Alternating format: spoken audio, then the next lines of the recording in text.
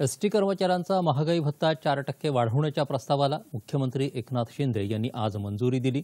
यामुळे हा भत्ता चौतीस टक्क्यांवरून अडतीस टक्के होणार आहे. महाराष्ट्र राज्य मार्ग परिवहन महामंडळातील सुमारे नव्वद हजार अधिकारी आणि कर्मचाऱ्यांना या निर्णयाचा लाभ होणार आहे. यामुळे सरकारवर नऊ कोटी रुपयांचा भार पडेल.